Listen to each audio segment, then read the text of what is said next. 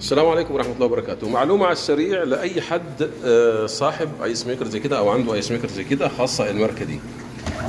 آه، مشكلة في ضعف حبة الثلج ضعف الثلج اللي بينزل من ال ice maker بيكون سببه نقص المية. مش من انه مفيش مية داخلة لا المية داخلة لكن الكمية اللي داخلة بسيطة جدا. فأنت هتعمل إيه؟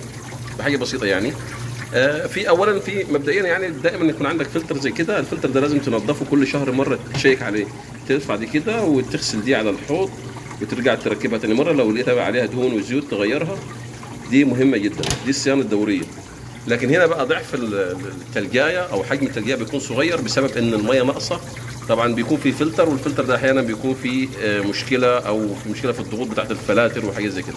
فأنت هتعمل إيه؟ بحاجه بسيطة جدا هتجيب إزازة مية زي كده إزازة مية أو كمية مية يعني وتفضيها تفضيها هنا. هتفضيها في المكان ده. تمام؟ تفضيها في المكان ده. وتبدأ تشغل.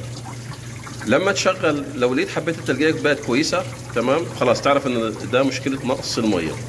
طبعا هنا ال- ال ice maker ده مش من ال- مستوى المية بتاعه مش من النظام اللي هو عليه عوامة لا. ده overflow يعني فايض. المية تخش وبعدين آه، ليها level معين وتكب بعد كده على الصرف.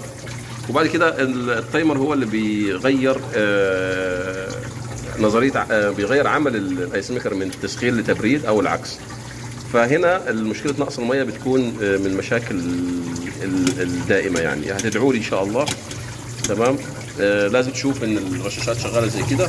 طيب أنت كملت المية ولقيت إن ما زال كمية الثلج آه أو حجم التلجاية نازل ضعيف.